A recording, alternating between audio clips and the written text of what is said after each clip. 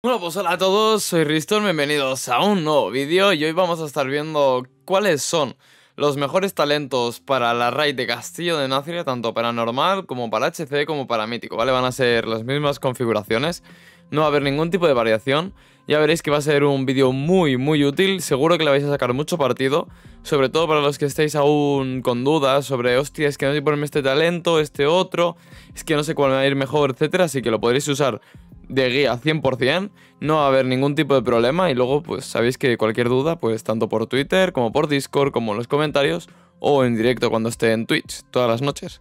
Así que vamos, vamos a darle un buen repasito que esto está muy interesante gente. Vamos para allá. Vale, pues como podéis ver, aquí estamos ya con la guía de aventuras y los talentos abiertos para poder ir dándole bien duro. Empezaremos por a la chilla, ¿de acuerdo? Os lo dejaré por aquí para que sepáis en todo momento de qué boss estamos hablando.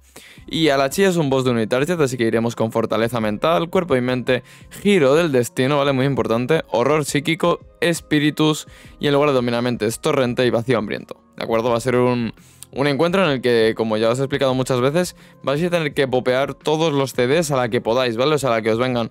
Ya de por sí nunca recomiendo que los aguantéis, pero en la chilla los vais a poder estar usando cada todo el rato porque es casi un dummy. O sea, es que no tenéis que hacer casi nada, solo tenéis que esquivar cuatro cosas y la verdad que es muy, muy, muy, muy fácil. Así que con estos talentos haríamos a la chilla. De acuerdo, pues para el siguiente boss, para Altimor, el cazador iríamos con fortaleza mental, cuerpo y mente, miseria, horror psíquico, vínculo psíquico, ¿vale? Big cambio, o sea, es la única vez que usaréis este talento. Y es porque al tener más de un target, todos afectados por, eh, por toque vampírico, y aplicar el daño en AOE de explosión mental, va a ser bastante, bastante ridículo. ¿De acuerdo? Luego usaríamos Torrente del Vacío y Vacío Hambriento. Ya veréis que si usáis el vínculo psíquico vais a pegar una barbaridad.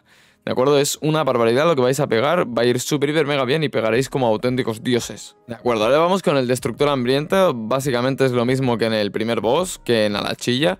Iríamos con Fortaleza Mental, Cuerpo y Mente, Giro del Destino, Horror Psíquico, Espíritus, Torrente y Vacío Hambriento. De acuerdo, muy importante, muy importante que siempre cuando hagáis las rotaciones, sobre todo en Unitarget, ¿vale? Tiréis primero, digamos, pues doteáis, Explosión Mental, Torrente del Vacío y entonces popeáis CDs, os tiráis erupción del vacío, os acabáis de tirar la infusión de poder y entonces ya sí que le partís la cara, ¿de acuerdo? La habilidad de la curia, los necroseñores, siempre tiradla pues al principio del encuentro, ¿vale? Justo antes de tirar la erupción o mientras tiréis erupción, como os vaya mejor por todos, por todo el daño que vayáis haciendo, la rotación, etcétera, por si os tenéis que mover o no.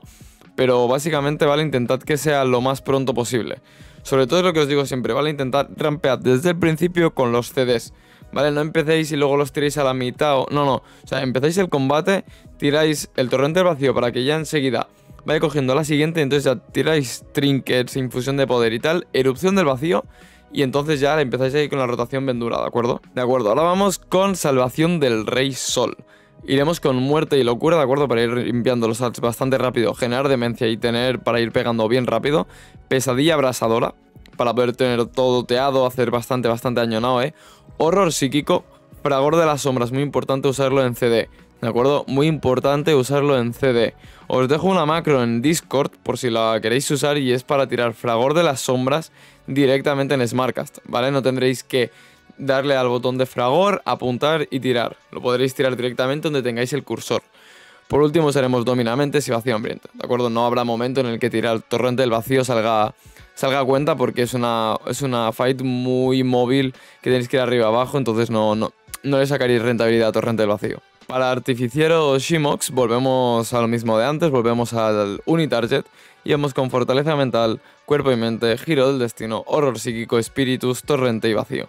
¿De acuerdo? No, no voy a volver a explicar la rotación en single porque al final, pues bueno, lo veo, lo veo bastante fácil y asequible y al final es pues combates muy parecidos a los primeros de Unitarget también y no creo que tengáis ningún tipo de problema en sacar mucho daño en este tipo de combates. Lady Nerva Vena Oscura, así que en lugar de Giro del Destino vamos con Miseria, por el simple hecho de tener que dotear ads extras.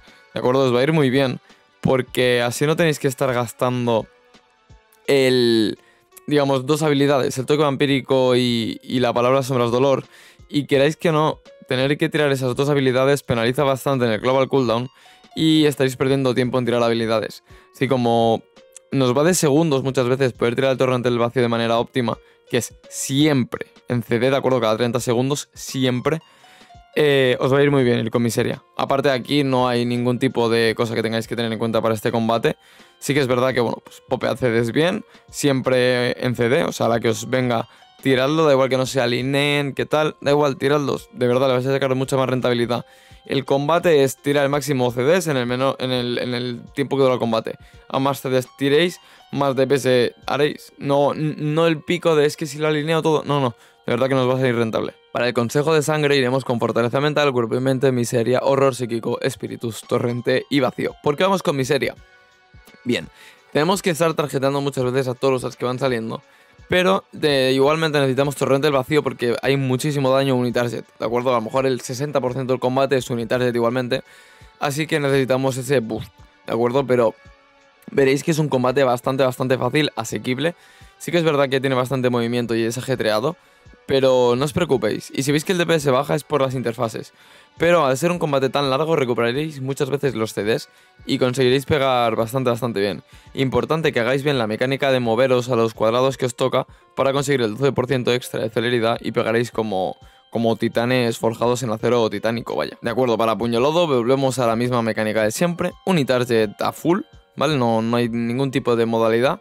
Puño lodo iremos hoy directos a tirarlo, así que si os queréis pasar, pues a partir de las 8 estaremos en directo y a las 10 empieza la raid. Os dejo el enlace siempre aquí debajo en la cajita de comentarios por si os queréis pasar, queréis dejar el follow y seguirme para preguntar cualquier duda que tengáis en directo. Para los generales de la Legión Pétrea vamos a ir con el típico cambio de entre Giro del Destino y Miseria, pero ya veis que la build al final se queda bastante bastante estándar con Torrente el Vacío y Fortaleza Mental como, como principales y Espíritus Auspiciosos por defecto, como ya os comenté.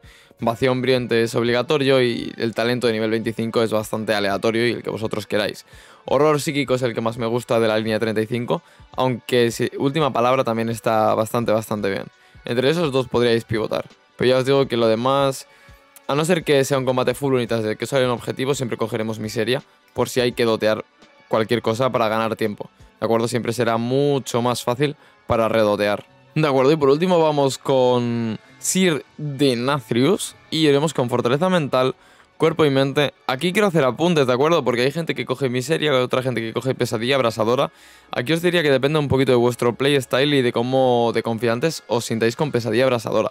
Si veis que no os queréis calentar mucho la cabeza, miseria y, puerta, o sea, no, no, os compliquéis. Talento de nivel 35, como ya os digo, pues por defecto horror psíquico, aunque última palabra rinde muy bien también.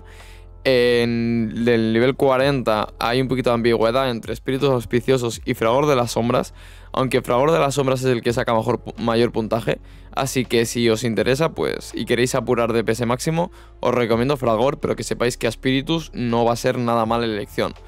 Y por último, Torrente del Vacío es la que, la que gana. Torrente del Vacío es top para Denathrius, aunque Dominamentes también parece muy buena elección, así que queda un poquito a vuestro libre albedrío, aunque yo os recomiendo Torrente del Vacío. Por último, Vacío Hambriento va a ser siempre obligadísimo. Por otro lado, ¿vale? Si os preguntáis qué conductos coger, siempre vais con Emeni. Y por defecto iréis con ecos disonantes, ¿de acuerdo? No, no hay ningún otro combate en el que en la primera rama no llevéis ecos disonantes. Y el legendario que vais a tener que estar usando va a ser el de la llamada eterna al vacío. ¿De acuerdo? En el caso de que lo tengáis ya, pues dadle bien duro. Si no lo tenéis aún, esperaos a la semana siguiente, al miércoles, y os lo hacéis en rango 2. ¿De acuerdo? No os lo hagáis ahora en rango 1 para luego tenerlo que hacer en rango 2. Es decir, os ahorraréis unos, unos puntillos extras que siempre, siempre vienen bien. Así que nada, esto sería todo. Espero que os haya gustado muchísimo el vídeo. Como os decía antes, pues podéis darle un buen like, suscribiros al canal si os está gustando el contenido tanto de general que voy subiendo como de sacerdote sombras, que es básicamente a lo que juego y en lo que me enfoco, aunque si necesitáis ayuda con cualquier otra clase, os ayudo con mucho gusto. Por otro lado también me podéis seguir en Twitch si queréis pasaros por los streamings y seguirme en Twitter que siempre subo cositas que solo subo allí porque al final pues no merecen un vídeo, pero sí merecen difusión para la comunidad. Así que para que lo sepáis. Por último de todo, que sepáis que hemos sacado un nuevo sorteito, ¿vale? 60 días de tiempo de juego. Os dejo el enlace debajo por si os queréis pasar. Simplemente será darle retweet y seguirme en Twitter. Así que eso que, eso que ganáis. Y el ganador lo, lo anuncio el domingo de esta semana. Así que muchas gracias por ver y nos vemos en el próximo vídeo, gente.